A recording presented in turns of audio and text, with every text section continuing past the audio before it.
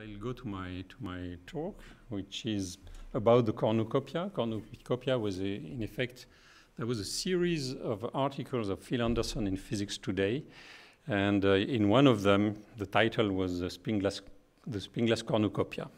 I must confess that on that occasion, I learned what was the translation of cornucopia in, in French. Um, I decided to, to, to give this, this poster on, for, for this talk. Uh, why, why did I do it? Well, it has been mentioned that the day after I, I received the, the prize, or I, was, uh, I, I, received the email of Christophe telling me that I would get the prize. Just the day after, Giorgio was awarded the Nobel Prize, so it was a good week. Uh, uh, one of these weeks that, that you, you never forget. And, uh, and I found this picture, I like it a lot. I like it a lot because this is Giorgio as I know him. So many times we have been discussing with him in such a situation on the blackboard. And also because he is lecturing, for those who know, it is absolutely clear that he is lecturing on ultrametricity, that is, he is showing this, this ultrametric tree. This um, first, one of the first discovery for me, it was uh, the, really the beginning of getting into spin glass theory. Um, as Edouard said, I was working on, on, particle physics, and at some point I decided to, to switch to, to statistical physics. And uh, I went to see my thesis advisor, Claude, Claude Bouchiat. And Claude told me, and he had this reaction absolutely fantastic. I was in the middle of the PhD, or after one year and something of the PhD. And Claude told me, You're right. I will go on being your advisor. You will come to see me every second week, and I will see how you progress. And I found that uh, a wonderful attitude. Uh, I was going in a field that was not uh, his field. And much time later, we, we worked together on some aspects of, of statistical physics on, on um, DNA twisting and, and pulling on DNA molecules. So, so this is uh, this is Giorgio in the in the 80s. It started from there. Uh, I have uh, two slides that that are for my my few friends who are here who are not physicists, and I, I really thank them for coming. Uh, uh, so I decided that I would have a couple of slides to tell you what it is about, and what it is about is, is basically this idea of emergence. Um, to summarize it, if you, if you look at a magnet, the magnet, the magnetism is due to elementary magnetic moment carried by the atoms, and these magnetic moments, they interact. And it turns out that in a magnet, they interact in such a way that when the temperature is low enough, they tend to, to point in parallel directions. And when they are all more or less aligned, then you get a, macros a macroscopic magnet. You can measure it, and you can use it for orienting. Uh, it, is, it is a collective state that is, uh, it is a state in which you have defects, you have spins, mag elementary magnetic moments, which are called spins, which point in opposite direction. They are not the same. They fluctuate. So it's uh, full of fluctuation. But structurally, at the global level, there is this phenomenon of emergence, which shows that uh, it, is, it becomes stable. So um, this is what is observed in a, in a standard magnet. You can measure the magnetization as a function of temperature. There is a critical temperature below which you see the emergence of, of, uh, of the magnet. And in fact, if you take a magnetic needle and you heat it, at some point it will demagnetize when you reach this critical temperature. Technically, the, the, the rough idea is something that you can get uh, uh, relatively easily, let's say, using, using mean field theory. Mean field theory is a theory in which you take one spin, you look at the influence of all the other neighbors, and, uh, and you write self-consistently what this influence will do to this spin, and you say the other spins, they do the same. So it's a coupled equation, self-consistent. When you solve it, you get a phase diagram like that. This is caricature. It's, it's very, it just gives a rough idea. Actually, uh, physicists have spent a lot of time uh, working on what happens exactly here, where the story is much more complicated, and you need to use uh, what is called the renormalization group. But for what I will tell uh, from now on, which is going to disordered systems, it is really the, the very nature of the low temperature phase which is already the challenge. Not, uh, I mean, of course, the critical point is always a bigger challenge, but the nature of the phase itself is, is extremely complicated. So in the, in the 70s, uh, uh, physicists got interested, some physicists, a few physicists, got interested into some magnetic alloys like uh, uh, copper manganese. When you have a few manganese impurities in copper, it turns out that the manganese carry the spin, they carry the elementary magnetic moment. And, um, but they are located at disordered position. They are not well organized in a crystal. And then depending on the distance between, between the spins, it turns out they, instead of having an interaction that helps them to point parallel, at some distance the interaction is ferromagnetic, it tends to put them in parallel direction, but at other di distances it, it's anti-ferromagnetic. This is due to the mediation of the copper. There was experimentally studying these alloys have found some strange, uh, uh, strange behavior. Uh, one of them is, is, shown here. This is the magnetization that is measured uh, when you take a spin glass uh, as function of temperature. So when you are between 90 and here 65 uh, Kelvin, you have this is a magnetization in a very small magnetic field. So for physicists, it's the, the linear response regime. So you really measure the susceptibility, and you have a susceptibility which increases, like in a good uh, uh, paramagnet. Then at some point there is clearly something which has been identified as a, as a, spin, as a spin glass phase transition. And here, if you cool in a small field, you find you measure this magnetization. But if you, if you cool at zero field here and you put on a field, you will measure that magnetization. The difference between this is called the difference between field cooled and zero field cooled. It is a measure of the fact that the system does not reach equilibrium. I mean, you, you arrive in the end at the same situation. You have the same system with the same temperature and the same field, but depending on the history of preparation, you have two different, uh, uh, completely different magnetization. On top of that, you can show that, that uh, it has been studied quite in detail that at this point there is a divergence of the, of the nonlinear part of the magnetic susceptibility. So this raised the, the interest of a lot of people. And uh, Edwards and Anderson soon came up with a, with a model for that, which was because the, the very question was what is the order the system seems to order. It has a phase transition. It has a low temperature phase. But what is the nature of this order at low temperature? We know that it is not an order in which the spins align and point in the same direction. What is it? And uh, so Edwards and Anderson came up with this simple model in which you have binary spins which point up or down and an interaction energy which is by interaction by pairs of spins, an energy which depends on the pair. So depending on the on the pair of spin Si, Sj, depending actually on their distance, the interaction here can be positive or negative. Positive, it means it is ferromagnetic, it favors parallel spins, and negative is anti-ferromagnetic. So here comes the, the, complication already that you can, that you can see pointing, that uh, each spin in this system will see a completely different environment. It will not have the same couplings with the others. First complication.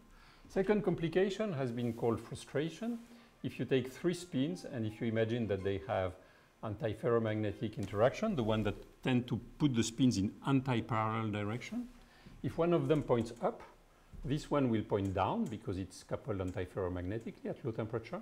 But this one is frustrated because it receives a signal from here telling you should be down, and a signal from there saying you should be up. So this is frustration, and this is a very mechanism by which you create a lot of metastable states, first of all. And secondly, it is extremely difficult to find the, what we call the ground state. What is, it, it, looks very simple. It's, you know, it's variable that take values plus or minus one. What is the configuration of the spins that minimizes this function? Just a sum of pair interactions. And uh, this turns out to be an extremely challenging problem. It's, a, it's in computer science, it's called the NP-hard problem. And actually, there has been a lot of work, including recently, on the connection between the spin glass theory and, uh, and, the, and the notion of hardness in computation. Of course, there is the simple algorithm that consists in enumerating all spin configurations and trying to see what, which, and seeing which one has the lowest energy. But this one takes an, an enormous time, exponential time. Here we have systems with uh, large sizes, so uh, two to, exploring a 2 to the n uh, a space with 2 to the n point is absolutely impossible. So I have, um, in, in retrospect at least, I think that there have been really four challenges that have been posed by spin glasses, and that addressing these four challenges has, has helped to develop a completely new branch of statistical physics. Uh, the first challenge was the following. You see that uh, if you look at it from the point of view of the of equilibrium probability measure, this is a Boltzmann probability measure, beta is the inverse of the temperature. You see that a sample of copper manganese is given by the position of the manganese. That will determine the, the couplings. And so for each sample, you have a different Hamiltonian. You have a different energy. And characterizing, just to define the energy, I need to give you a very large number of parameters. I should give you, in principle, 10 to the 23 parameters of the order of that, which is insane from the point of view of physics, of course. So immediately one gets into, into a, a way of thinking in which one will have to think of a distribution of the sample, how the sample has been generated. It has been generated by a certain process. You can describe it by a probability law. This induces a probability law on the J, on the, on the couplings. But then, of course, you can ask, but uh, is any sample, do, do they behave the same or not? It, it turns out that a lot of properties uh, are the same whatever the sample. How, how, whatever, if you prepare correctly your copper manganese, will, each time that you prepare it, you will get a different sample, different arrangement of the manganese, but each time you will find the same magnetization, the same average energy. There are some subtle differences that, that have been found later. Second point, I mentioned it already, every spin is in a different environment with different magnetizations. So you cannot do this, what I, I often call it the theory of the representative agent. That's the mean field theory in other fields. In economics, it's well known as the theory of the representative agent. You take a representative spin influenced by the other, but all the others behave the same, so it is a representative agent. Here, no. Here, each spin has, is different. And so you get the description of the, of, the, of the order, which is a spontaneous magnetization, is, is one in which you need to solve coupled equations for this n magnetization, one for each of the spins. So this, this is extremely complicated. These are the famous uh, Thouless-Anderson-Palmer uh, uh, equations. Um, it tells us also that uh, the, the, order is extremely subtle. That is, uh, the, the, spins tend to freeze in some directions, but this direction you cannot say a priori where, where it will be. The third challenge is that actually the energy landscape is extremely complicated. It has, uh, it has many uh, minima, and so the, the low-lying state, the low energy state, uh, this is a one-dimensional sketch of uh, what happened in very large dimension, of course, but the low-lying state, there are, there are many of them, actually there are uh, exponentially many of them if you put a small, a small window. And so it is completely different from what happens in a ferromagnet. In a ferromagnet, you have two states. Here you have many states. So not only the order is random, but there are many possible ways of ordering. So that was the third challenge. Uh, a technical remark, so if you want to identify the order, you, there is a notion of symmetry breaking, a spontaneous symmetry breaking. It's well known in ferromagnets. In ferromagnets, you know that if you want to define the magnetization, you put the system in a very small magnetic field, compute the magnetization, and let the magnetic field go to zero.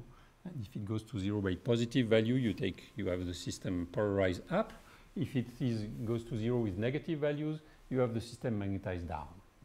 In a spin glass, it is nearly the same, but with a small detail that you need a magnetic field well chosen and different on each side. So you don't know that a priori. If you know that, you know what will be the order. So it is, it is, it is the, the, the question is, is bootstrapping. And, uh, and so it is, it is an extremely complicated problem. And uh, in some sense, this is one of the ways to understand uh, why replicas have been successful. Uh, uh Edouard was mentioning, uh, was mentioning replicas. It was, uh, it was magics. It still is, actually. That is quite remarkable that after all these, uh, uh, how many, uh, nearly, yeah, four decades now, it is still magic and, not, and still not justified. But physically, I think it makes kind of sense if you think that if you want to really identify what is this local magnetization that, that will, um, the, the, local field that will help to polarize uh, in, a, in the good direction, well, you don't know it. You have no way to, to knowing it. It's extremely complicated. But the system knows it. And so if the system knows it, you, what you can do is take one copy of the system, one replica of the system, and use it as a magnetic field for the other copy, and reciprocally. And so you have these two coupled systems, and then you can see, do they align or do they not align? You put a small coupling between them, and when you relax the coupling between them, do they keep aligned or not?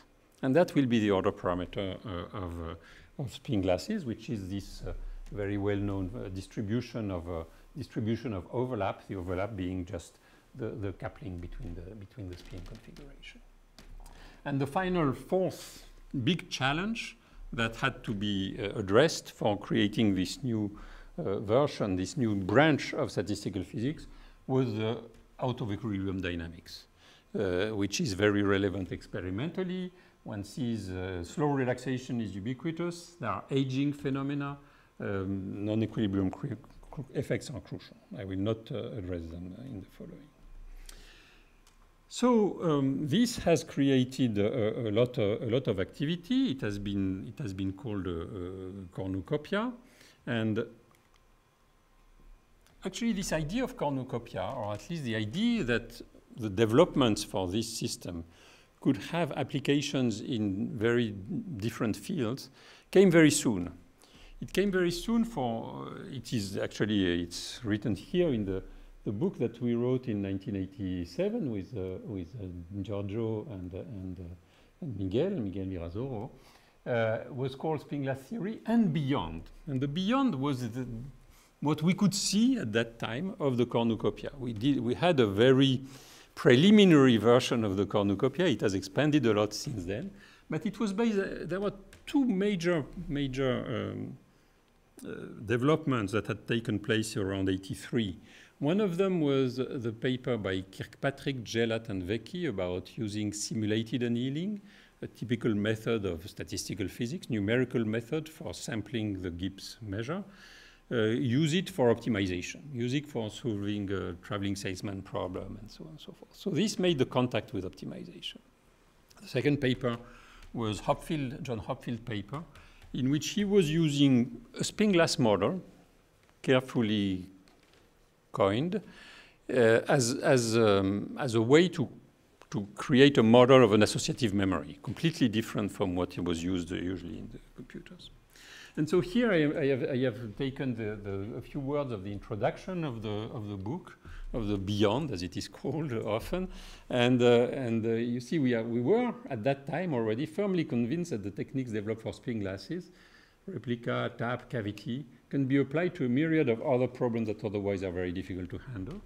We think that the moment is ripe to try a presentation of these techniques that demonstrates their essential simplicity. Maybe the final word here was a bit exaggerated from some of the people who tried to, to study in this book, but at least we tried, let's say. Uh, so this is a very short version of the cornucopia. I will not enumerate it. It's, uh, it goes from problems of uh, physics, uh, mathematics, constraint satisfaction problem, economy and finance, evolution, heteropolymers, and here uh, neural network theory, inference, statistics, information theory, and, uh, and the constraint satisfaction problem. And uh, I remember discussing this with, uh, with Jean-Philippe Bouchaud a few years ago. I think it was in, uh, in um, 2018. And Jean-Philippe told me, and it is only the beginning. So be ready. Um, I, will, I will talk briefly about uh, this, uh, this part of it, which is more about uh, inference.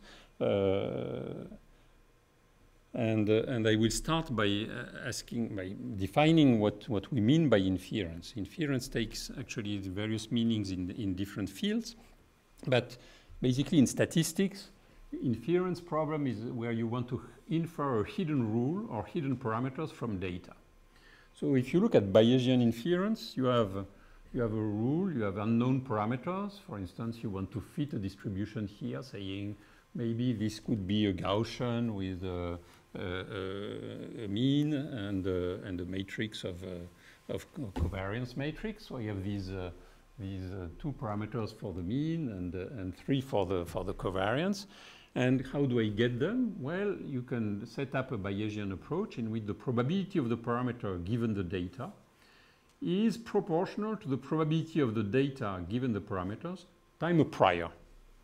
So maybe here in this case you would say, well, the prior is that the mean should be uh, somewhere here in this square, let's say, and um, some um, prior on the, on the variance that it could not be too large or things like that. And the challenge is to find the parameters. So this is the basics of statistics in some sense. And if you look at systems in which you have small numbers of parameters, it is really uh, many books and lectures and, and, and beautiful results on that.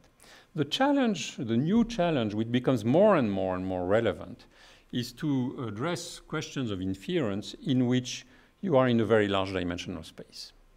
This is what happens in particular in machine learning, in which you will want to fit data with an extremely large number of parameters. And then if you have, uh, if the dimension of x, if x is uh, 1 million parameters, well, you get into something which starts to look a lot like statistical physics, in which you have a coupled uh, uh, probability distribution for a large number of variables, parameterized by disorder. And the disorder which is here is the data, is, is the experimental data that you have obtained. I will give uh, maybe, um, I had prepared, okay, I will give two examples. I will start with a, a first example on communication and error correction. Uh, this was uh, recognized to be a problem very well connected to spin glasses. Uh, actually, one of the first persons who recognized that is Nicolas Sourlas, who is here. And um, the idea of error correction is the following. You, you basically, as soon as you communicate something, uh, Uh, whether you do a phone call or you write something on your hard disk, or when I talk to you, in all these cases, we use error correcting codes. I, maybe you never realize that I'm using an error correcting code when I talk to you, but I do. I do because I'm using English. English is an extremely redundant language. So if I don't pronounce very well, or maybe if I have a French accent, in principle, if, if English was a perfect language, and I have language, you know, it's not, that does not make sense. You have understood language, but okay. Uh, if I mispronounce, you, you correct it. You correct it because there is a, a single word which is close to language uh, and you identify it. So this redundancy is exploited for, for, for, for error correction. So in general, in the, in the setting that was developed by, by Claude Shannon, ah, here it is. You have an initial message, you will code it, you will send it through a noisy channel, and uh, so the initial message is what I would like to tell to you. I have it in my head. The coding is I use English, then I send it through the channel, and uh, you receive it, you decode, and you have it in your head. Does it look the same as the, what, uh, what I wanted to tell you? Doesn't work so easily when you think about it, but that's another, that's another question. In, in, technically, when you want to do it, the simplest code that you can imagine is I want to send this image here, and I send it three times. So I receive three times. Each time it is blurred by noise. Here it's a 10% noise. And then I have a very simple decoding. I take every pixel. I take the top left pixel here. This one is black. This one is white. This one is black. So I put a black. And I decode it by majority rule. And you see that, indeed, I have decreased the noise. So this is the simplest possible uh, code. Much more powerful codes are, are using multi-bit interaction, are using parity checks. So for instance, you will, you will agree between the sender and the receiver that you send, you use messages which are from a book. It's called the code book. And I can use only messages from this code book. And they will make it such that if I send a message from the code book, I know that in my code book there are no other messages which are close to it so that I will, if it is slightly distorted, I will be able to find which one was the, the message of the codebook that you had sent me. Okay.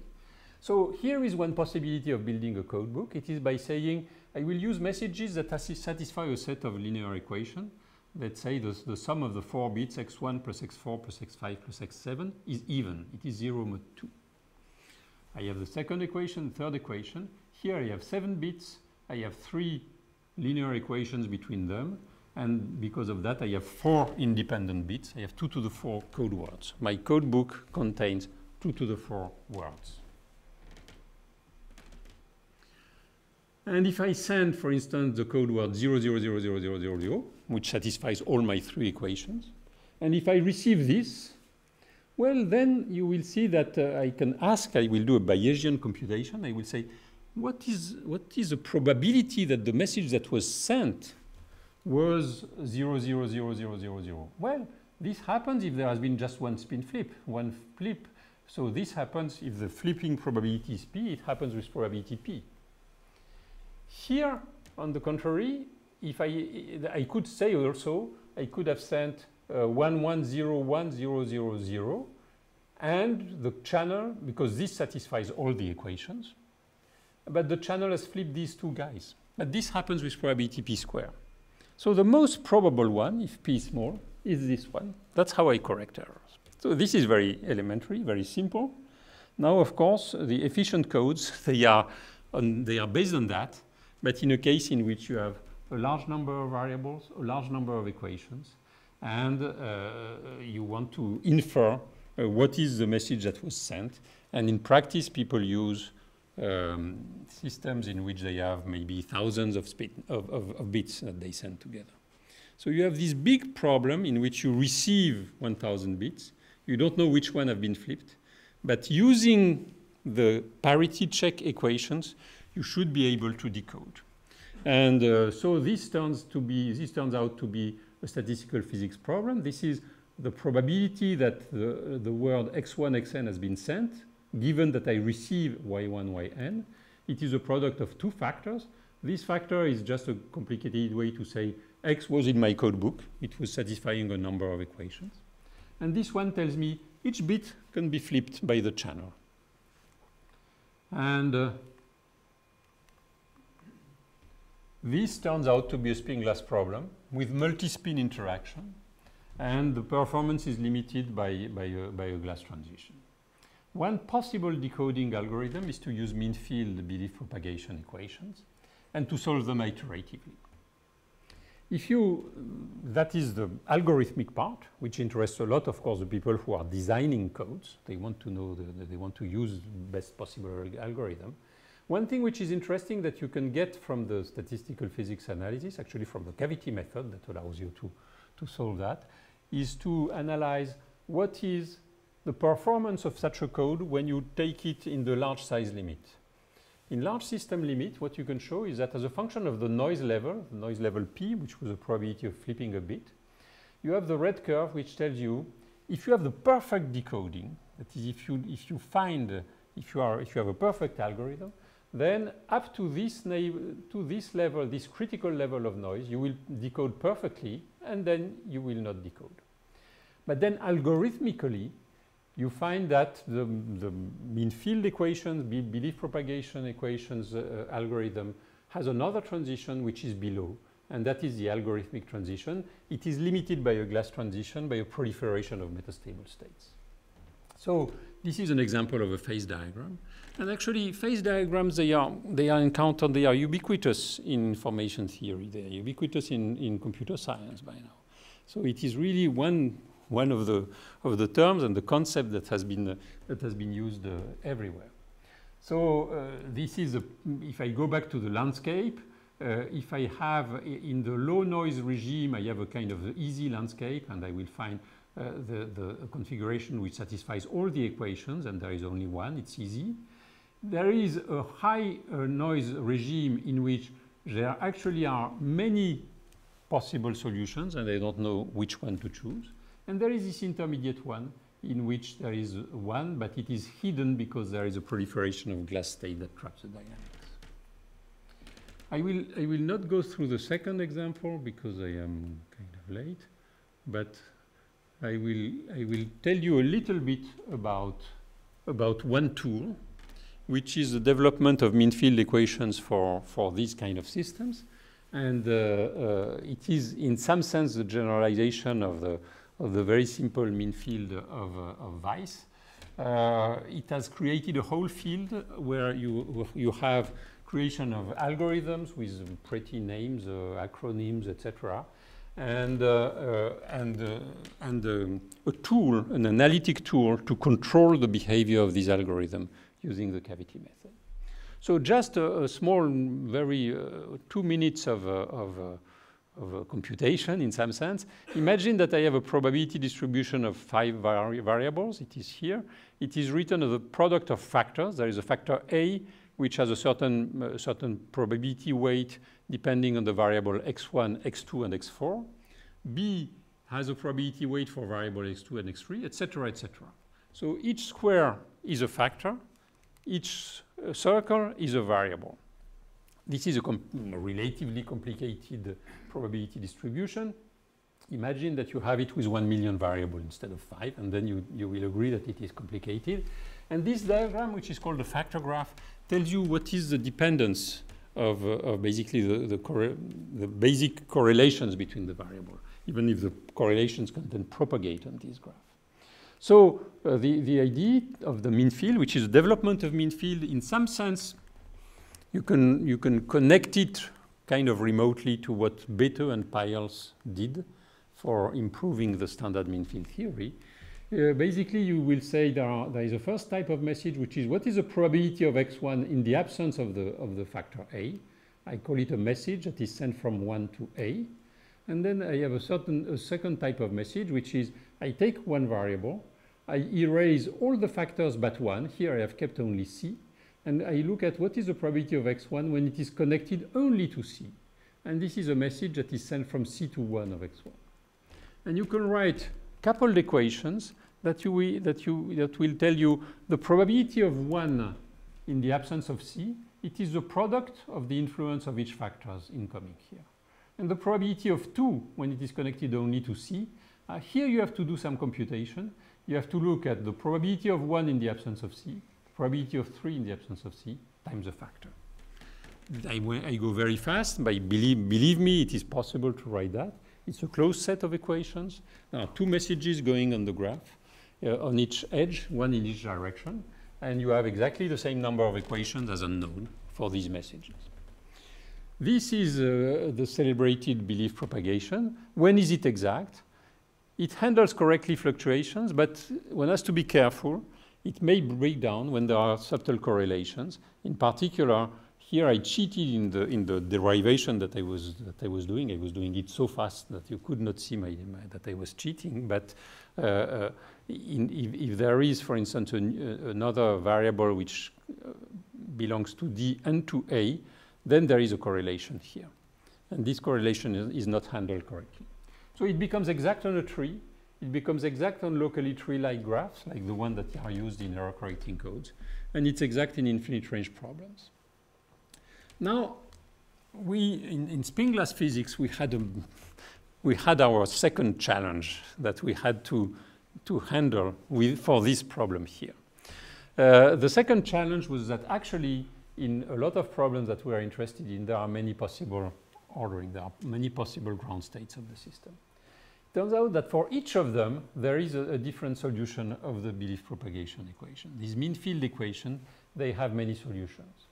And so what do you do when you have that? It's extremely, it becomes extremely complicated. First of all, it signals the fact that the, the, the simple iteration of the equation do not converge. And that is when we had this idea with, uh, with uh, Giorgio and uh, Riccardo Zecchina to look, well, when there are many solutions, what we will do is we will, we will go to a meta description of the problem in which we would like to understand what is the probability if I take an edge of the factor graph at random?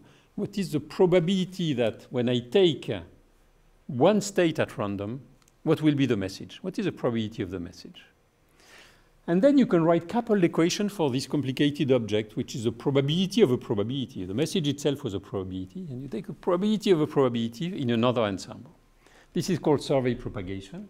And, uh, and this has had quite a lot of, uh, of uh, developments and, and applications. So these are, these are fast methods which have, uh, which have uh, shown uh, quite interesting performances. They also solve very complicated global problems by simple update rules locally. and, and this is a contact with the neural network that has maybe not been exploited so much. I will, I will finish with my, my third example of inference, which is machine learning. So as you know, by now there are a lot of people working on identifying cats and dogs on images of the internet. So you have uh, the following challenge. I have, a, I have a lot of images of cats, a lot of images of dogs. I know which one are cats, which one are dogs, because some people are working hard for doing that. One must say that also. And I have a machine. It has a lot of parameters. And I would like to have a machine that is able to identify a cat and a dog. This was a big challenge. It our colleagues uh, doing uh, image analysis were not able to do it by hand, that is by hand, by creating an algorithm, inventing an algorithm. But, uh, but machine learning is, is the following idea. You take actually a neural network in which each unit here is an artificial neuron. The artificial neuron does something very simple. It takes the input the from the neurons on the left to which it is connected, and it has some weights. So weighted inputs and a nonlinearity. That is inspired from uh, the behavior of a neuron which receives some synaptic input modulated by the synaptic efficacy and having a nonlinearity at the, at the level of the soma. So you have this thing, and for each edge of this graph, you have a parameter, you have one of these weights. And now the challenge is, can you find all these weights so that your, your network here will be able to say this is a cat, and you, when you present a dog, it is a dog. This is a very big challenge. It is a challenge because you have systems which are very large. You can have millions of neurons, hundreds of layers, tens of tens of millions of parameters. So you want to optimize something in a 10 million dimensional space. Actually, you want to fit something in a 10 million with 10 million parameters. So if you, remember von Neumann who told you with five parameters you should never do it, even four is, is too much. Here we do it with 10 million, so it's crazy. It's crazy, but it works. Uh, it works because it is trained on very large database. So this is one of the, of the main progress is the fact that we have many, many images labeled, accessible. And, and the second progress is that there is a computing power. So uh, basically, this is again a problem of statistical physics of disordered systems. You have a, a, set of inputs, database, that is an input, that would be an image.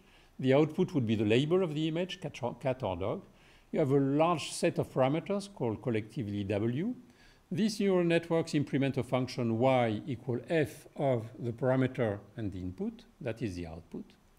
And then what you have is a database. And the database is a series of images and labels. And then basically we'd like to find the W that fits the database. You do, in the simplest case, you will do mm, least square, uh, least square fit. You want to find the W that minimize that. Then of course the big challenge would be to say not only do you, are you able to do it, and secondly, does it generalize well when you present a new cat that the system has never seen?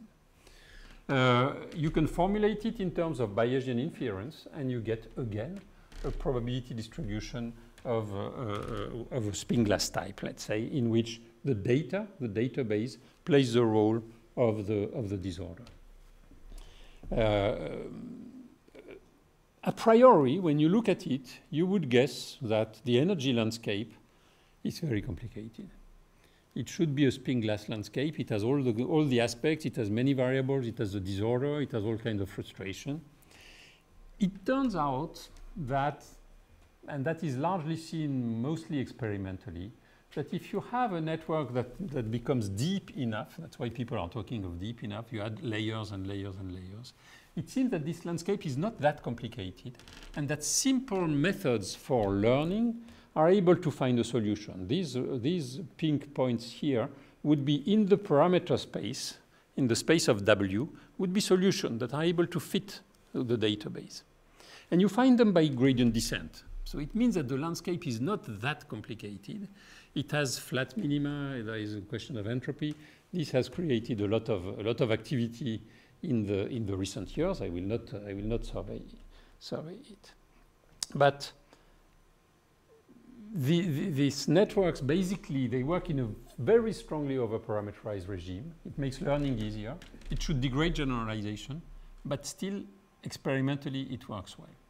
This is a very interesting interesting challenge. There are many ideas about that and, and general methods of statistical physics of these ordered systems. Uh, it has all the four ingredients that I was mentioning, the four challenges uh, are, are, can be brought to bear on this, on this problem. One building block of these of this machine learning of these neural networks is what is called the perceptron. It's one. If you look at one neuron and the input from all the other ones, let's say, then in the simplest case, for instance, the nonlinearity could be a sign function, and you see that you have n inputs, n weights, a vector of weights, a vector of inputs, and y is the sign of the weight dot the input. And so basically you will have a, a, vector of weights and you will have a linear separator which will separate the data between uh, the, the, the one which are on the, size on the side of this hyperplane where W points and the other ones if you one one aspect because I like it even if it is uh, somewhat old, but it gives an idea of what can be done and what is being generalized nowadays in, in more complicated uh, systems. You can you can look at what happens in a teacher-student setup. The teacher-student is to say there is a, there is a teacher. The teacher has its weight W tilde. That's the weight of the teacher the, of, the, of, the, of, the, of, the, of the teacher. So the teacher, you will present some data, and the teacher will tell you for each vector of data that you present, it will tell you that is the desired output. Okay, it has its hyperplane. It, it, the teacher knows where is the hyperplane. And the student will try to learn what is, what is its weight. And ideally, it should converge to the same weight as the, as the teacher. If it does that, then it means that he has learned the rule.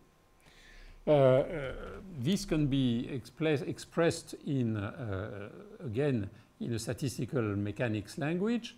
In particular, this was done by, by Elizabeth Gardner and then Gardner and Derrida, and many people have been working on that. It's a statistical mechanics in the space of these weights, of these parameters. Again, in which the, the, the database is the quenched disorder. And you can analyze that in the thermodynamic limit.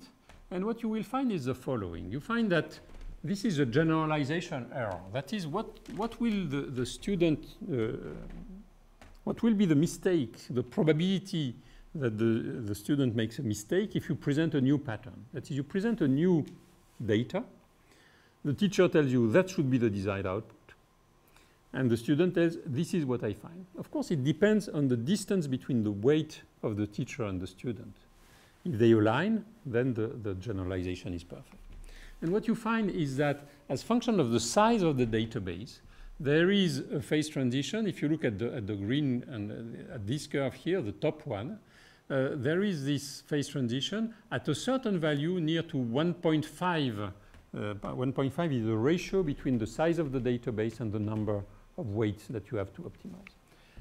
At 1.5, there is a sudden phase transition, first order, and the students generalizes perfectly. That is a binary case. That's the case in which the weight have binary entries. But if you look at the algorithms that are able to do that, if you look at the Bayes optimal algorithm using belief propagation and so on, they stop here. That is already at 1.25, then uh, you, you, you, you, are, you, you are, are stuck. So basically, sorry, I have missed it. It's the contrary. This is a this is the absolute phase transition. This is the algorithmic phase transition. So if you do not have enough data, generalization is impossible. If you have a lot of data, generalization is easy. And there is an intermediate phase in which generalization is in principle possible. You have enough information from the information theoretic point of view. Shannon tells you it should be doable, but you don't have the algorithm to do it efficiently.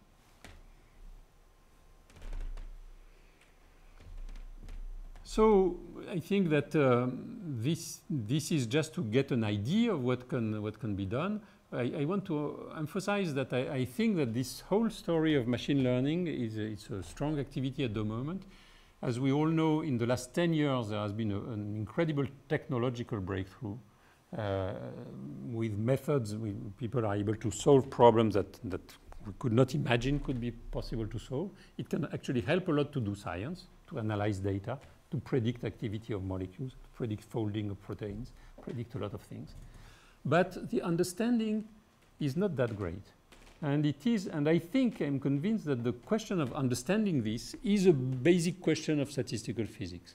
It's a case in which when you have learned, when you have taken one of these big, big networks that is able to analyze what is a cat and what is a dog, you know everything. You know the value of each of the 110 million parameters that you have in your, in your system. You know each of them, but you don't understand how it does. So it is really a problem of emergence, emergence in a disordered case. Uh, there are many challenges around that, understanding better the role of architecture, the different uh, roles of different algorithms. And one of them on which I have been, I just wanted to mention it to conclude because I have been working on that in the last few years, is the question of data structure. In a lot of what physicists had been doing, the data had been, you have to take an ensemble of data, like I was telling you at the beginning, you have an ensemble of spin glass. You have to say what is the statistical distribution of the position of the manganese. Here you have an ensemble of data. Very often physicists have taken ensemble of data which was just IID, identically distributed. That is, each bit has the same probability distribution and they are uncoupled. This is totally unrealistic. I mean, the, the practical way of using the deep networks is using it on very structured data. For instance, if I look at one of the simplest problems, now considered as very simple, which is uh, uh, uh, um, analyzing handwritten digits. here, the handwritten digits, they are, they are um, just pixel on a 28 by 28 squares, black and white pixel. So it is a vector in 784 dimensions. It can be gray or, or, or, black and white. And so you have this 784 dimensional space, which is the space of your inputs. But it turns out that you will present to this, to this system, the database will be handwritten digits. And handwritten digits, they are not an arbitrary black and white uh, uh, uh, pattern of 28 by 28. They are structured. And actually, by using some methods that had been described by Grassberger and Procaccia initially uh, to, to find the, the dimension of strange attractors, you can look at what is the typical nearest neighbor distance between two of the handwritten digits of the database, how it scales with the size of the database. And it scales with a power which gives you the dimension of the manifold in which these digits live. And when you do that, you find that uh, uh in your 784 dimensional space, the handwritten digits, more or less, they live in a manifold which is of dimension 15. It's much, much more simple. Fortunately, you don't know this manifold. It's not a linear manifold. That would be linear algebra. That would be great. That would be so easy. It's a very folded, convoluted manifold. And so, so geometrically, the problem of, of analyzing handwritten digit, you can, you can look at the manifold of the nines. The manifold of the nine, I don't remember now, it has dimension 8 or something like that. Dimension of the 5, it has dimension 12. Dimension of the 1s, it has the low dimension, 6, 7. And in this 15-dimensional manifold, you have 10 submanifolds you want to identify in which you fall. Seen like that, it seems simple, except that you don't know where is, where is the folding. So one of the big challenge, I think, in order to have really the statistical physics bringing new ideas for, for machine learning, one of the big challenges is, is to develop tools of statistical physics which are able to handle structured disorder. Structured disorder here means structured data, means data which has which lives in a low dimensional space in some sense, which is the data that you want to analyze. You want to analyze protein folding, you are not analyzing uh, anything. It's, it lives in a relatively low dimensional space. So um, I, I, just uh, wanted to end with that because it's one of the, of the problems on which we are working at the moment with some colleagues. I have touched very, very superficially these uh, three points of the, of the cornucopia. There are many more. And one thing that I wanted to, to end with, that I mentioned in my abstract, is uh, this sentence again of, of, of, Phil Anderson, again in this series of, uh, of uh, articles in physics today. Uh, he, he refers to the fact that really initially spin glass was a very obscure thing. It was, you know, a small magnetic anomaly in some alloys, and these alloys, I should tell you, nobody has been able to make something out of it. There is no device which is based on spin glasses. There is no grant on spin glasses.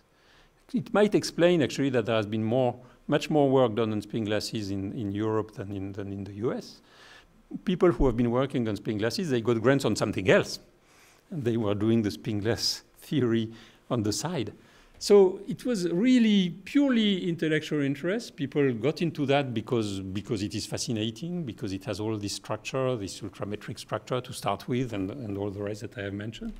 And so uh, uh, Phil Anderson uh, explains how it is the best example I know of the dictum that a real scientific mystery is worth pursuing to the ends of the earth for its own sake. And I think it's a very good, a very good lesson. Thanks a lot.